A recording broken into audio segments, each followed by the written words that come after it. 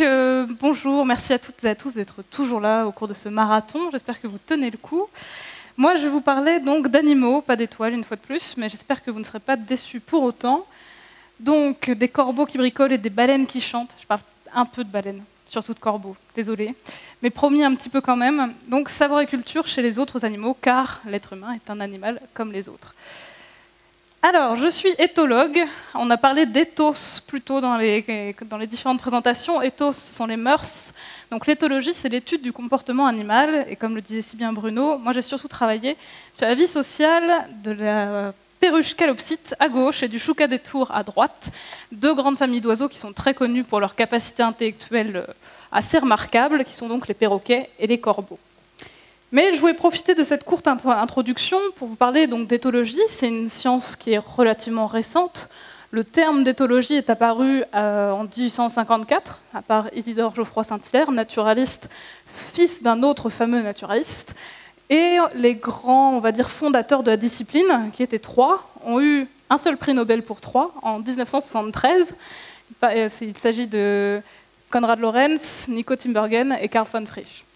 Donc c'est une science relativement récente et comme on parle de science et de savoir, je trouvais ça important de mettre une petite alerte au début en disant attention, parce que même si on essaye d'étudier de manière objective, avec des, mesures quantifiables, en faisant vraiment attention à ce que l'on fait, eh bien, les êtres humains restent des êtres humains. Et au début de l'éthologie, on a quand même beaucoup recherché ce que les êtres humains savaient faire chez les autres espèces animales.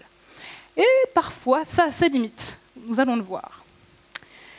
Le premier, et c'est vrai, au tout début, on avait quand même essayé de déterminer ce que c'était que le propre de l'homme.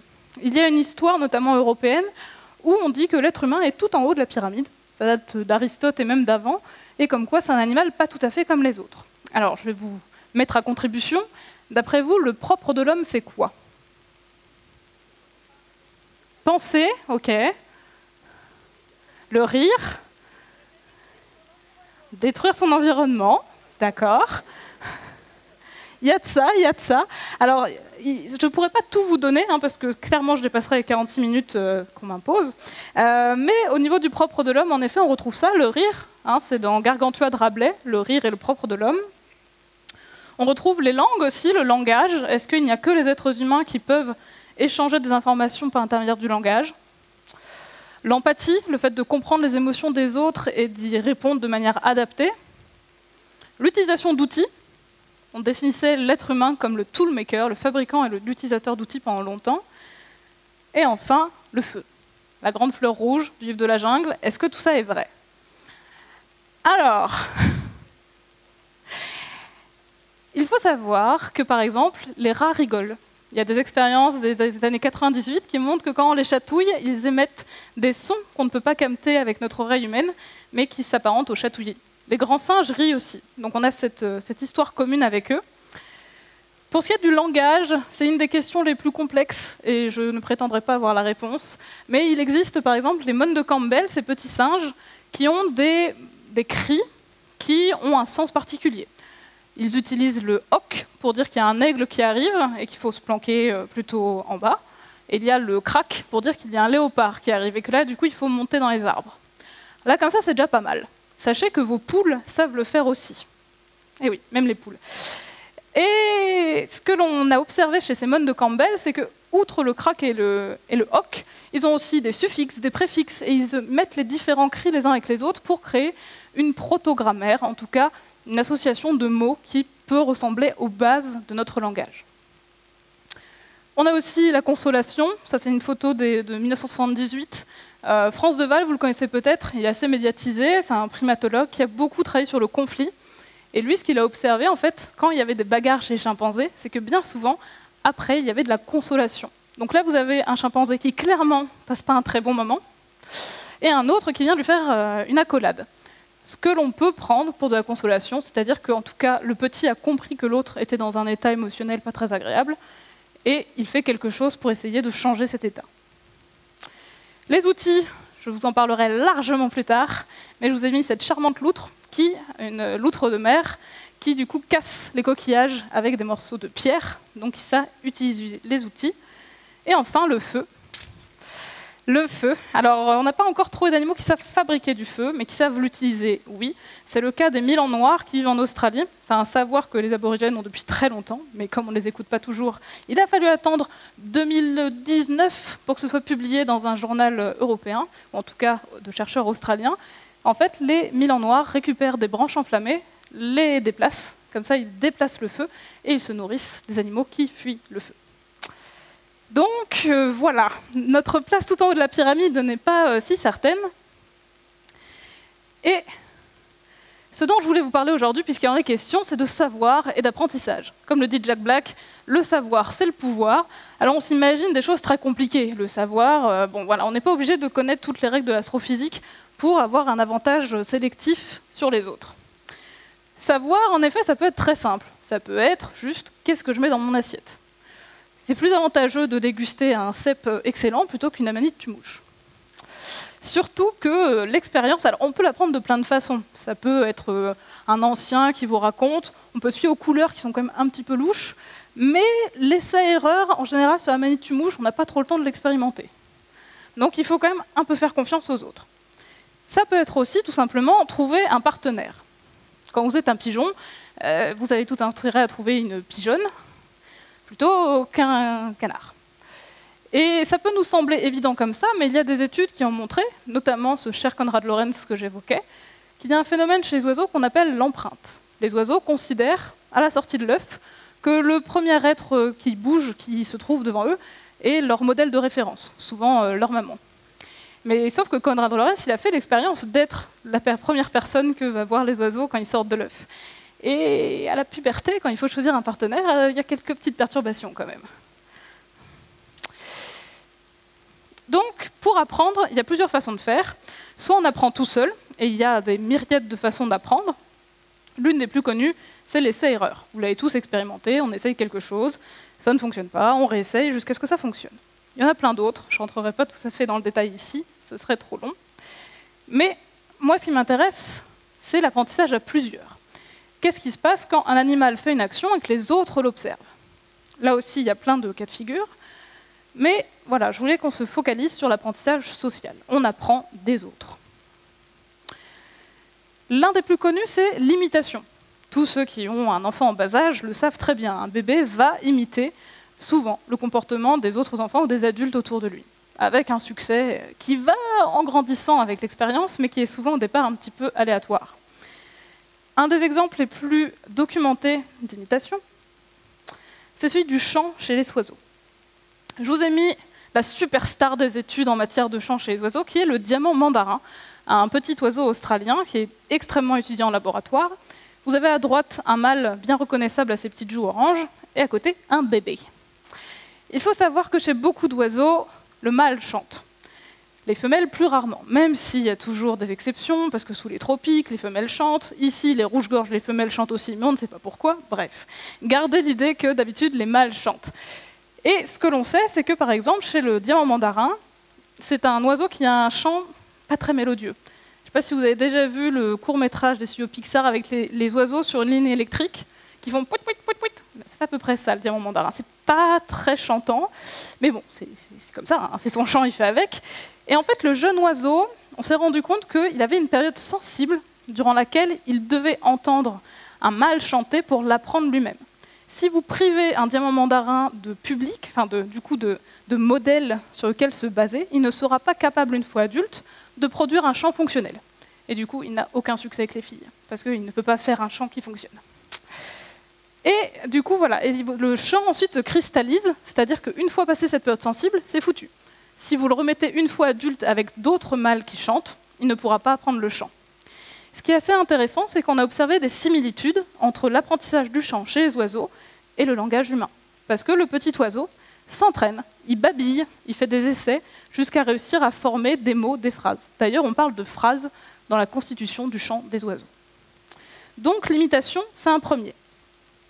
Un deuxième dont je voulais vous parler, qui est pourtant pas très répandu, c'est l'enseignement. Je prends un petit coup d'eau. Je ne sais pas comment mes collègues ont fait pour parler 45 minutes sans boire, mais voilà, petite, pause. L'enseignement, jusqu'à présent, on l'a observé chez très peu d'espèces, mais je trouve ça vraiment intéressant et je voulais vous le présenter aujourd'hui. L'enseignement, alors je vous ai mis une définition, parce que bien sûr, personne n'est d'accord. Hein. En plus, on parle de comportements qui sont quand même un peu proches de celui de l'être humain. Autant vous dire que les débats font rage. Euh, l'enseignement, on le définit par une forme de comportement coopératif qui améliore la survie. Sa fonction est de faciliter l'apprentissage des autres et il indique des actions coordonnées entre le donneur, implique entre le donneur et le receveur de l'information. Donc, coopération, facilitation d'apprentissage, et il faut qu'il y ait coordination entre celui qui apprend et celui qui enseigne. Il y a trois critères encore plus précis pour que l'on puisse mettre un comportement dans la case de l'enseignement. Le premier, c'est que le démonstrateur modifie son comportement seulement quand il y a un observateur naïf avec lui. Donc il va faire l'effort de décomposer ce qu'il veut apprendre à l'autre pour que celui qui est là, qui ne sait pas, l'apprenne. Bien sûr, il ne le fait pas s'il n'y a pas d'observateur autour de lui. Deuxièmement, ce changement de comportement lui coûte, ça demande un effort de décomposer cette action, ou en tout cas, ça ne lui apporte rien. Il n'a aucun intérêt, aucun bénéfice à faire cet effort. Et troisièmement, si tout va bien, l'élève a appris et va être capable de réaliser ce comportement plus vite, ou en tout cas plus facilement que s'il n'avait eu pas de démonstrateur. Cette définition, elle est très compliquée, et ça veut dire que même nous, euh, espèces humaines, si vous avez des élèves de quatrième qui assistent à une heure de cours d'histoire et que deux heures après ou un jour plus tard, l'élève n'a pas appris la notion, on peut dire qu'il n'y a pas eu enseignement, si celui qui a appris ne l'a pas fait on peut se dire comme ça, bon, il y a quoi comme espèce qui enseigne? Est-ce que vous avez une petite idée?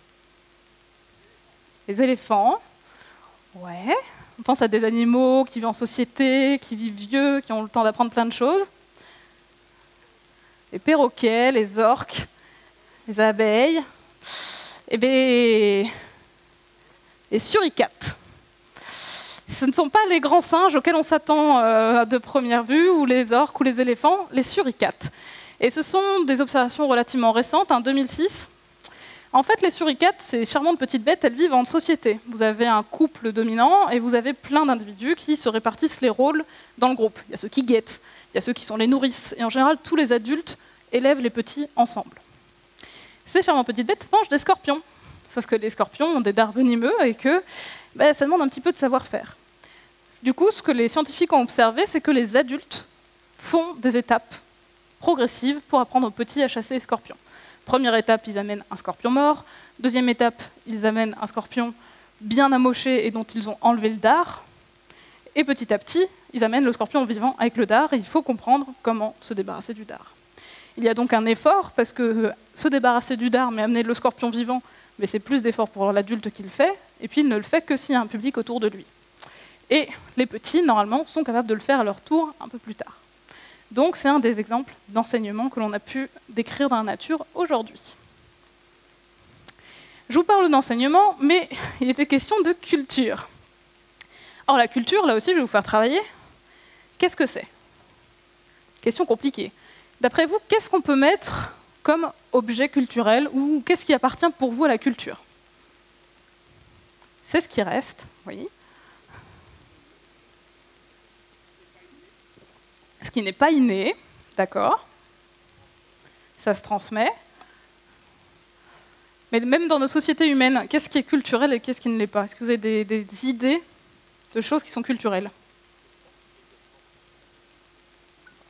Pas immédiatement profitables, oui.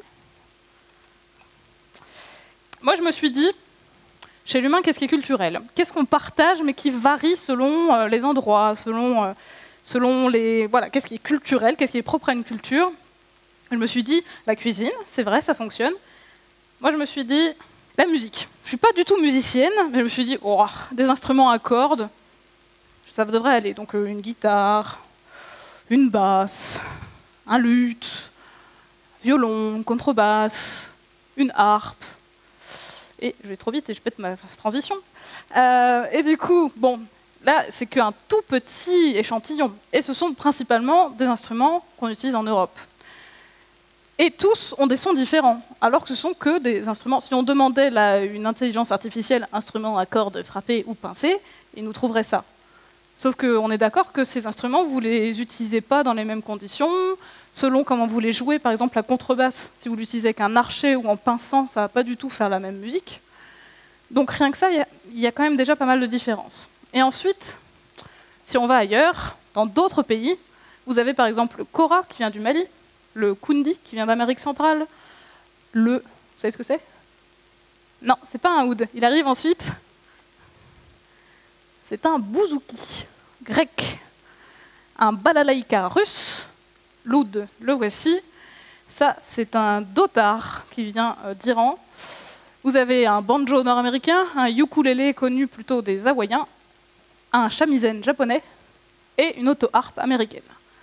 Et ce n'est qu'une infime partie de tous les instruments à cordes pincés ou frappés. On ne parle même pas des pianos, tout ça. Et tous ces instruments ont des formes différentes, ont des sons différents, ils sont utilisés dans des contextes différents. Et là, on parle de notre propre espèce à nous. Alors, pour définir la culture chez les autres espèces, on est bien parti. Donc, pour essayer de définir deux, trois choses, chez l'être humain, ce qu'on trouve par exemple sont les langues, les dialectes. Rien qu'en France, voilà, on a le picard, le basque, l'occitan et tant d'autres. On trouve tout ce qui est les chansons, les histoires, les récits, les contes sont des illustrations comme ça assez euh, nettes de cultures différentes. Les savoir-faire, alors je vous ai mis des sabots, mais j'aurais pu mettre plein de choses. Surtout que des sabots, on peut en faire aussi bien dans les Vosges que dans les Landes. Les costumes traditionnels, qui héritent aussi de certains savoir-faire, hein, parce que la, la dentelle de ces bigoudens, c'est aussi un savoir-faire que l'on a spécifiquement dans un endroit. Et puis bah, la nourriture, la cuisine. Alors moi je viens de Toulouse, mais bon, il ne faut pas dire que c'est toulousain. C'est de Castelnaudary, il ne faut pas avoir de problème. Mais voilà, le cassoulet, aujourd'hui tout le monde en France peut avoir goûté du cassoulet une fois dans sa vie, mais il y a des choses qui sont voilà, plus euh, proches que d'autres. Ce que l'on retrouve, c'est qu'il y a quand même cette idée de localité. Tout le monde, même en France, ne partage pas les mêmes savoirs, les mêmes historiques avec ces différentes choses. Donc je me suis dit, une fois encore, pour mettre tout le monde d'accord, je retourne à la définition. Là aussi, prenez-le avec des pincettes. Je vous ai mis une définition, c'est un choix arbitraire des définitions de la culture, il y en a tout plein, et tout le monde n'est pas d'accord. Donc, la culture, qu'est-ce que c'est? C'est la création et la propagation de traditions à travers l'apprentissage social. Donc ce qu'on a vu précédemment, l'apprentissage par les autres. Mais les traditions, qu'est-ce que c'est eh, Parce que c'est joli de parler de traditions. Là, les traditions sont des comportements, des artefacts ou autres entités partagées au sein d'une communauté et maintenues sur des périodes de temps significatives, comme à travers plusieurs générations. Ce que l'on retrouve dans cette définition, c'est l'apprentissage social. Ce n'est pas inné, comme vous le disiez, ce n'est pas génétique. Les éléments culturels s'apprennent par les autres, c'est nécessaire. C'est un comportement qui est, propre à un groupe, donc ça veut dire que même si c'est la même espèce animale, tous les animaux de cette espèce ne vont pas partager ce comportement.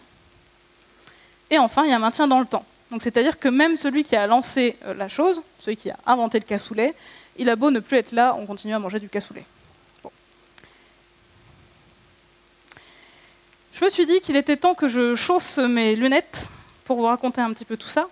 Je ne me rends pas compte à quel point je suis en retard ou pas, mais on y va. Euh, au niveau de, comment on a découvert qu'il y avait une culture chez les autres animaux, c'est pas si ancien.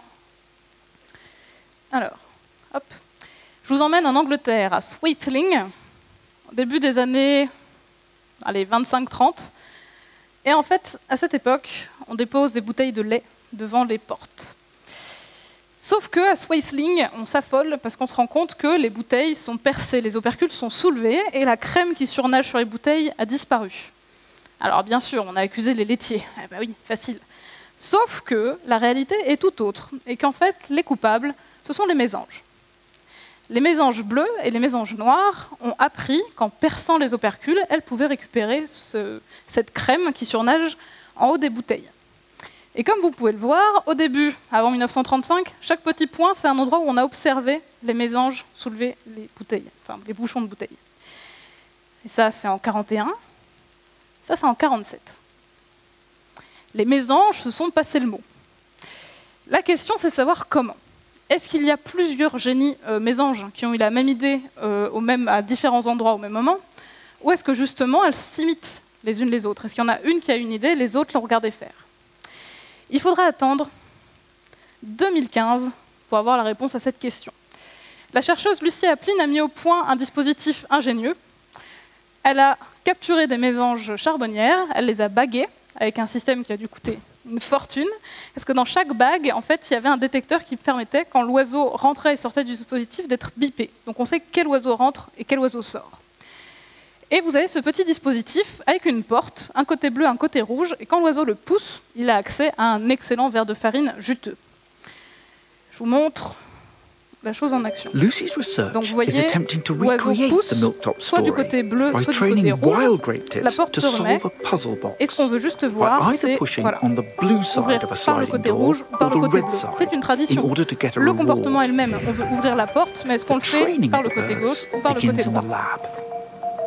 Ce qu'ils ont fait, c'est qu'ils ont appris à deux oiseaux à ouvrir du côté rouge et à deux oiseaux à ouvrir du côté bleu, en labo. Et ensuite, on relâche l'oiseau une fois qu'il sait le faire. C'est assez simple, c'est-à-dire qu'une fois, que- à chaque fois que l'oiseau pique sur le côté bleu, on le récompense jusqu'à ce qu'il sache le faire sans qu'il soit récompensé.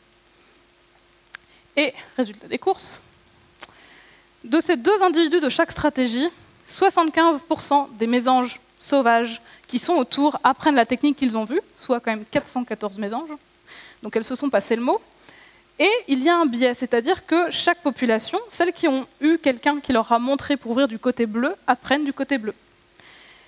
Et, et c'est là que la découverte est ouf, c'est que cette tradition d'ouvrir du côté bleu ou du côté rouge a été maintenue sur deux générations de mésanges.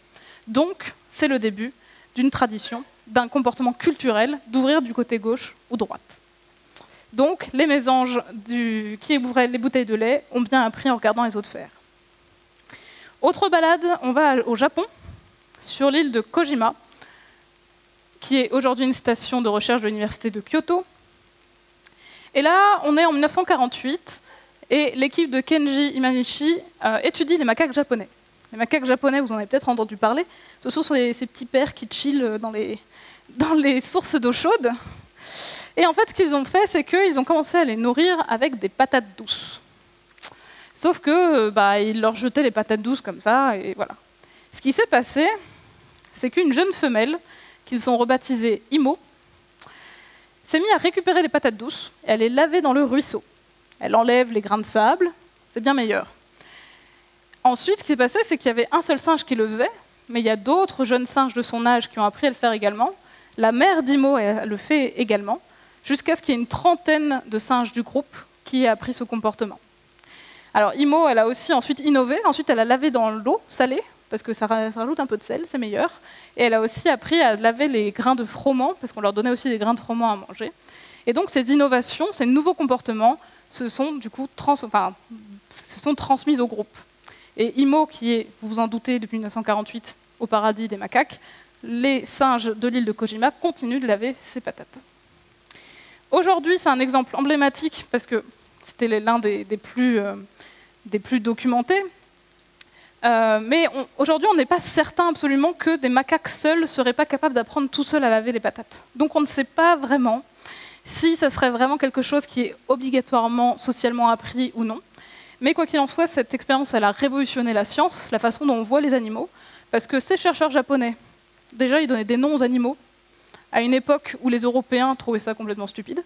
Donc ils se sont fait mais, foutre de leur gueule, méchamment, en colloque.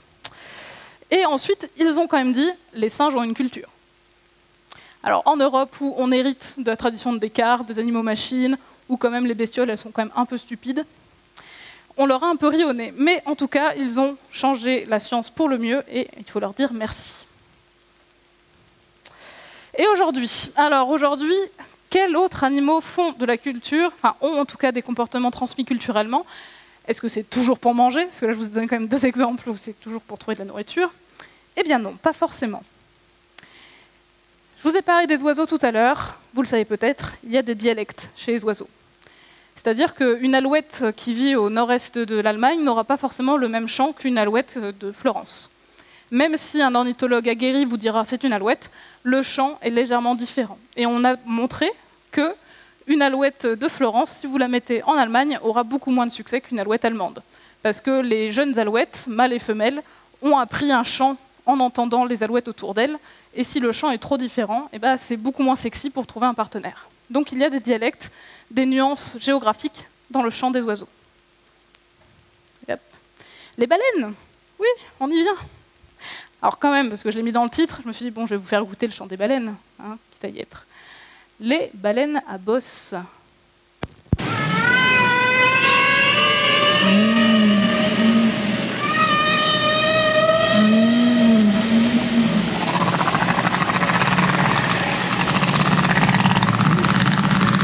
On y est là. Alors, les baleines, déjà, juste un petit détail, les baleines, ce sont que les mâles qui chantent. Et oui, encore une fois, hein, il y a des choses qui ne changent pas, c'est toujours pour séduire les femelles. Ça, ce sont des choses qu'on trouve chez plein d'espèces. Et en fait, ce qu'on s'est rendu compte, c'est que les baleines d'une population ont un chant relativement similaire.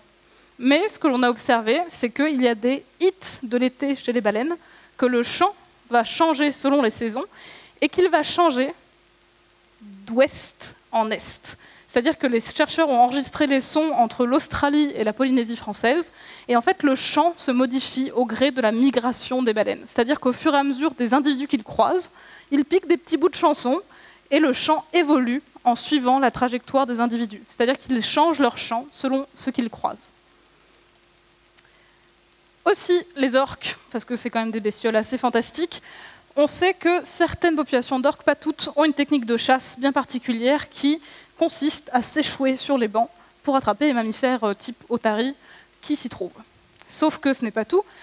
On s'est rendu compte que les femelles, souvent, parce que ce sont souvent les femelles qui montrent l'exemple, des fois s'échouent alors qu'il n'y a pas d'otarie à manger, pour montrer aux jeunes comment faire, pour qu'ils apprennent la technique. On ne l'a pas encore classé dans la- dans l'enseignement, mais il y a quand même de bonnes chances que ça y ressemble. Et enfin, parce que je vous parle de gros animaux, ou avec des cerveaux déjà, ceci est une gorette jaune, c'est un poisson. Et ces poissons, en fait, un peu comme les saumons, ils ont une route migratoire pour aller s'accoupler. On s'est rendu compte que si on déplace des gorettes jaunes à un endroit où il n'y a pas de gorettes locales qui connaissent le chemin, elles se perdent. Elles ont besoin de connaître une route qu'elles apprennent des autres individus pour trouver l'endroit où se reproduire. Si elles n'ont personne pour les guider, elles retournent à leur lieu de départ. Et si elles sont absolument seules, elles, se perdent. Donc il y a un apprentissage culturel du chemin de migration chez ces poissons.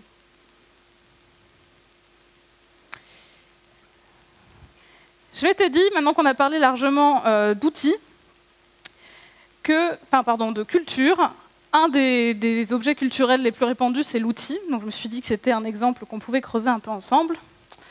L'outil, là encore, tout le monde n'est pas d'accord. Donc je vous ai remis une définition, comme ça on est d'accord. C'est un objet qui a été utilisé ou modifié de manière à provoquer un changement dans l'environnement afin de faciliter l'atteinte d'un but précis. Donc qu'est-ce qu'on retrouve dans cette définition d'important? L'intentionnalité. En effet, quand vous prenez votre marteau, c'est pour planter un clou.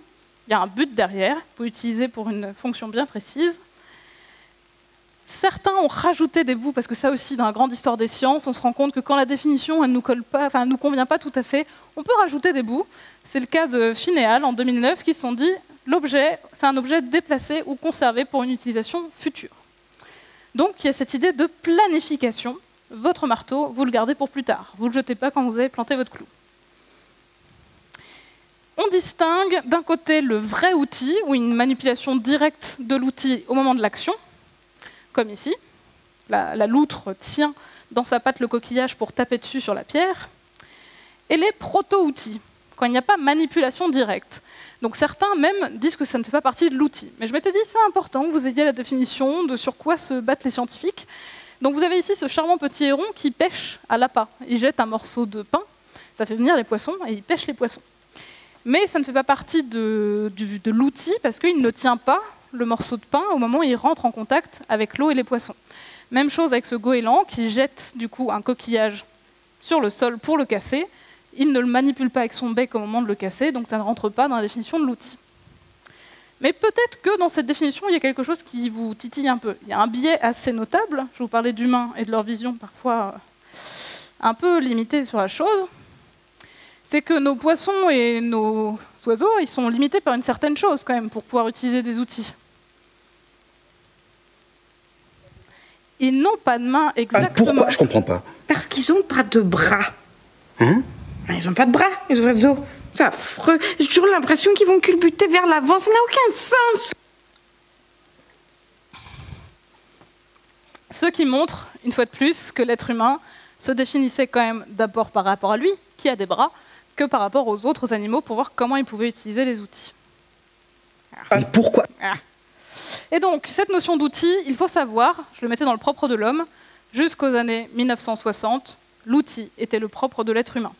Il faut attendre les travaux de Jane Goodall, qui a été téléportée en Tanzanie avec les chimpanzés, pour que les idées changent. Ce qui s'est passé, c'est que Jane Goodall, elle n'avait aucune formation d'éthologue. Elle a été envoyée au fin fond de la Tanzanie à 25 ans, sans bagage ou presque, par Louis Liquet, qui était un anthropologue, et qui avait sélectionné trois nanas, donc Jane Goodall pour les chimpanzés, Diane Fossey pour les gorilles, et Birute Galdikas pour les orang-outans, en disant Bon, les filles, moi j'ai envie de comprendre comment vivaient les ancêtres de la lignée humaine, donc vous allez m'étudier les grands singes. Sauf que Jane, bah, elle avait quasiment pas de sous, elle n'avait pas d'infos. On lui a donné des jumelles. Allez, tu vas observer les chimpanzés sauvages dans la forêt. Bon, déjà, vous voyez le contexte. elle commençait un peu à désespérer parce que les sous commençaient à s'évaporer et elle n'avait rien réussi à observer.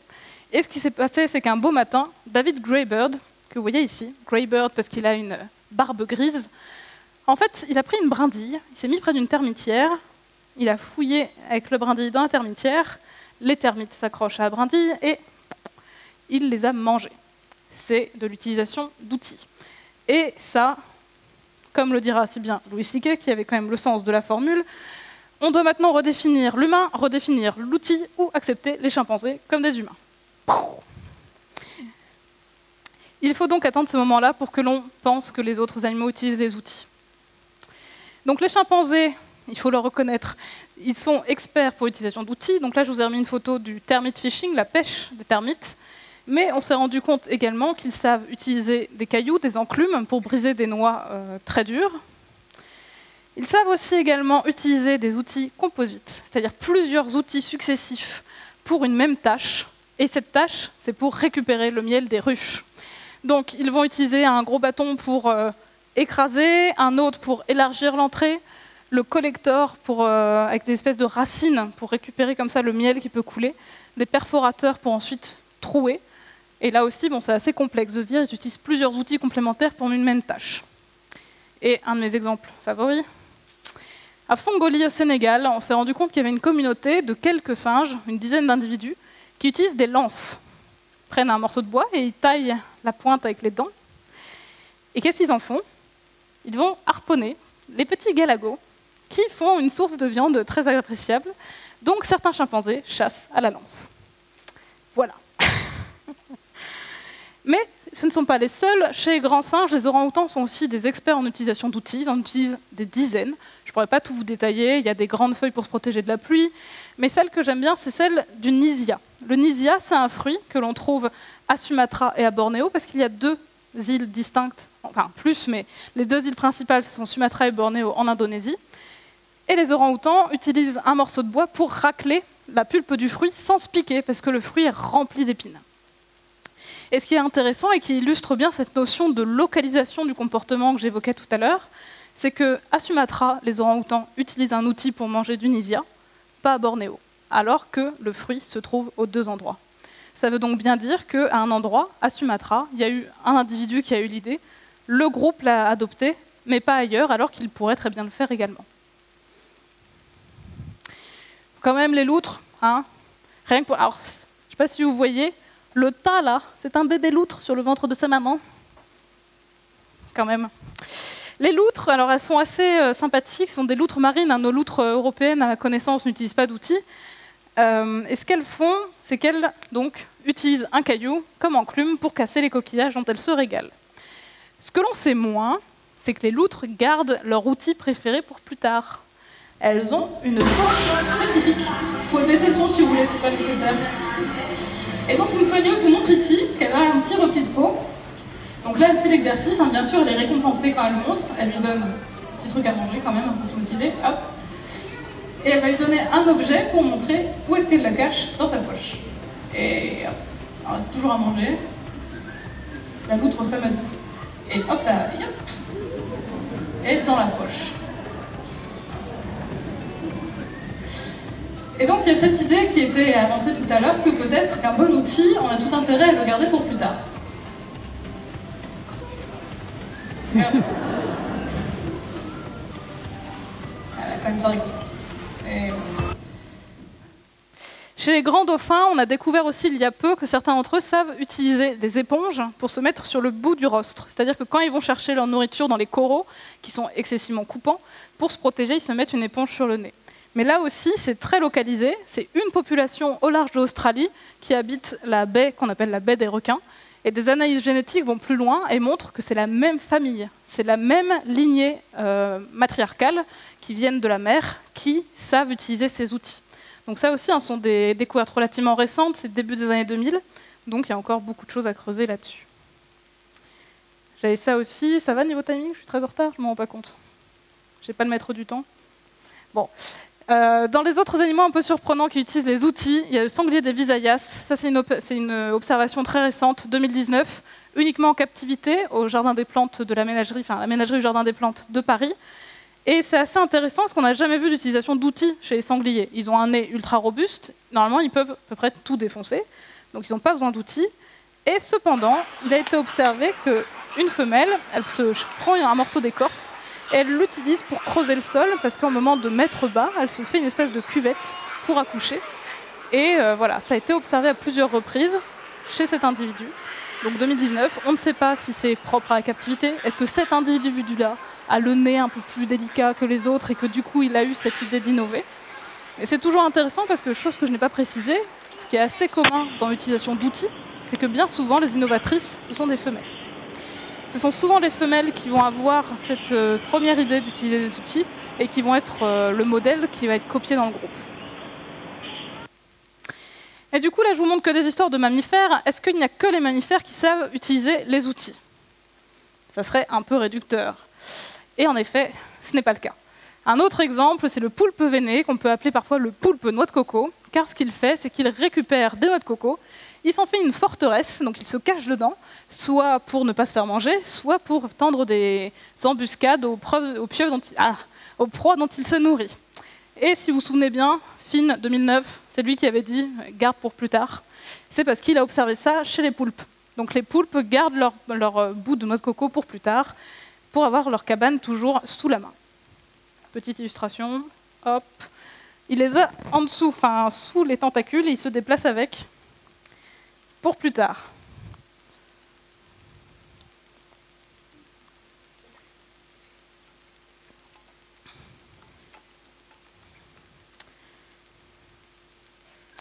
On a aussi l'exemple d'un poisson. Alors là aussi, ça pose énormément de questions, parce que comme je vous le disais, ils n'ont pas de bras.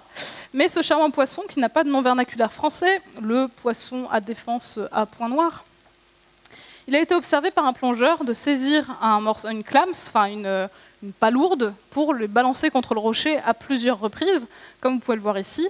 Donc l'intention semble être bien là, la volonté d'ouvrir également, mais à l'heure actuelle, il n'est pas forcément classé dans l'utilisation d'outils en raison de ce que je vous ai expliqué avec les définitions. Un autre que je trouve rigolo, le crocodile. Alors en plus, les reptiles, niveau intelligence, en général, on les met bon dernier.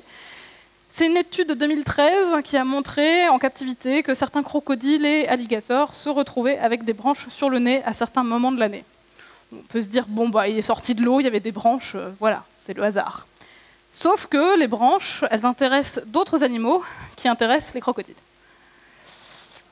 Les aigrettes ont besoin de ces branches pour faire leur nid, et il s'avère que ce comportement, on ne l'a observé qu'au moment de la construction du nid des aigrettes. Alors, est-ce qu'ils utilisent ces objets comme des outils, comme des appâts? Là aussi, il n'y a pas de question de bras et de manipulation directe, donc ça ne rentre pas dans la définition, mais je trouvais ça rigolo de vous le montrer.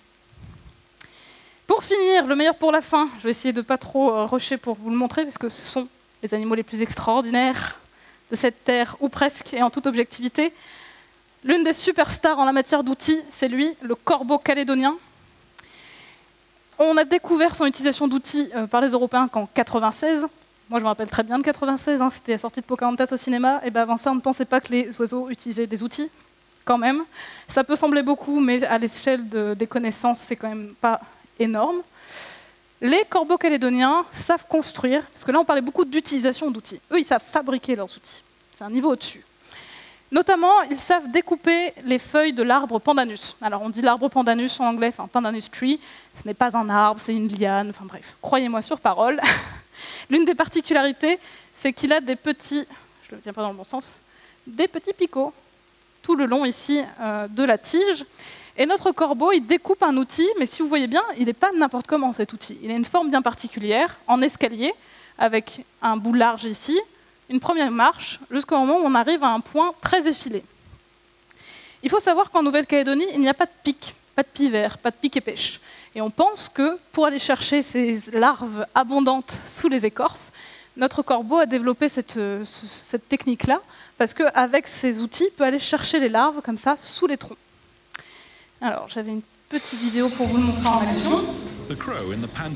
Pareil, pas besoin du son. hein. En gros, vous voyez juste la feuille. Et le corbeau, en fait, va découper avec beaucoup de précision ces trois escaliers pour faire son outil.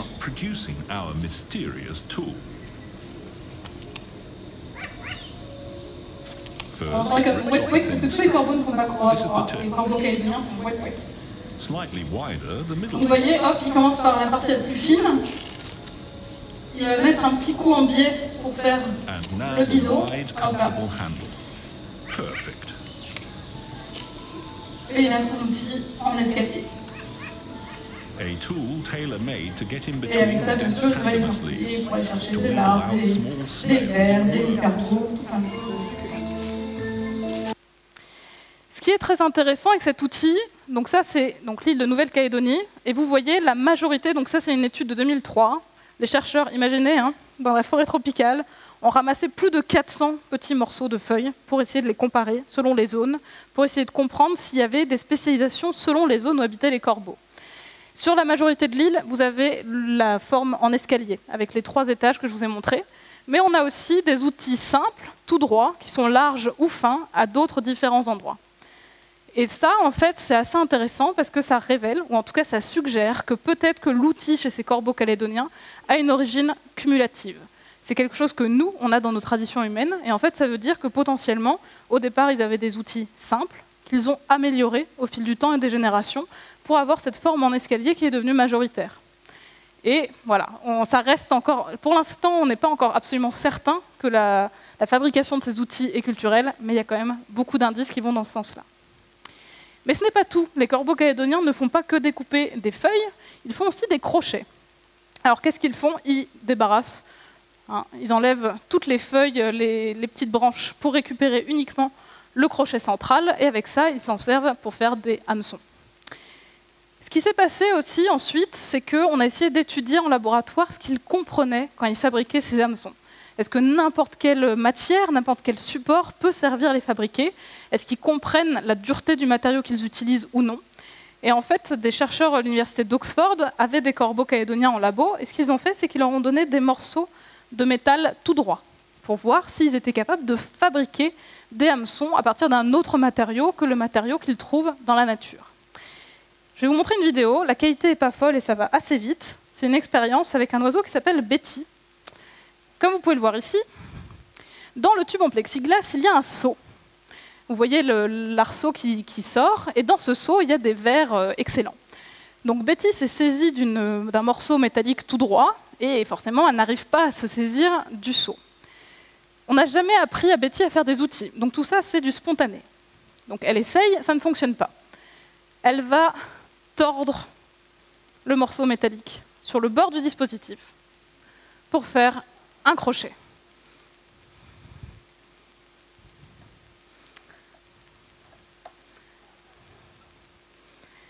Et récupérer. Alors c'est une expérience qui pose beaucoup de questions, parce que personne n'a appris à tordre les morceaux de métal à Betty. Est-ce que ça veut dire que c'est aussi un comportement inné, que même si personne ne lui a appris, c'est quelque chose qui est inscrit dans son ADN On sait maintenant, après avec un peu de recul, parce que c'est une expérience de 2006, que les bébés corbeaux de Calédonie, même s'ils n'ont pas de mentor pour leur montrer comment faire, ils savent de manière spontanée utiliser des outils. Ils prennent des brindilles dans le bec, ils jouent avec. Mais on sait aussi que s'ils n'ont pas leurs parents ou des démonstrateurs, ils ne sont pas capables de faire les formes les plus compliquées d'outils.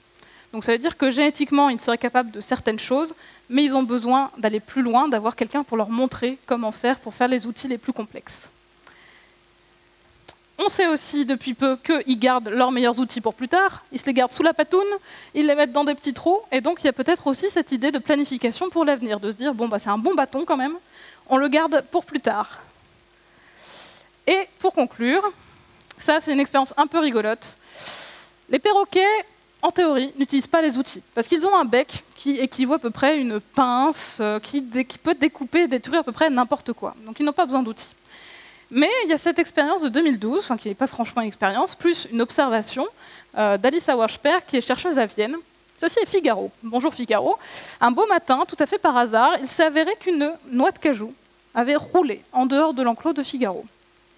Figaro a arraché un morceau de bois de son enclos et l'a utilisé pour racler et ramener la noix de cajou et la manger. Et là, comme ça, on se dit, ok. Alors, c'était un seul individu, personne ne lui a appris, et surtout, on n'a jamais vu de perroquet utiliser d'outils. Donc, bien sûr, on s'est posé plein de questions. Est-ce que Figaro comprend ce qu'il fait? Est-ce qu'il peut changer de matériaux Il s'avère que oui, il peut utiliser des matériaux avec des duretés différentes, avec du carton, avec du bois. On a, elle a fait des expériences, et quand elle euh, met Figaro devant un, un, problème à résoudre, les autres perroquets qui le regardent apprennent à le faire. Donc il y a bien une transmission sociale de cette utilisation d'outils. J'ai une petite vidéo pour que vous le voyez en action. Vous voyez, il y a une euh, excellente euh, cacahuète noix de cajou dans cette boîte. Et ici, il y a uniquement un petit trou en plexiglas. On n'a rien appris à Figaro. Il a juste son morceau de bois ici.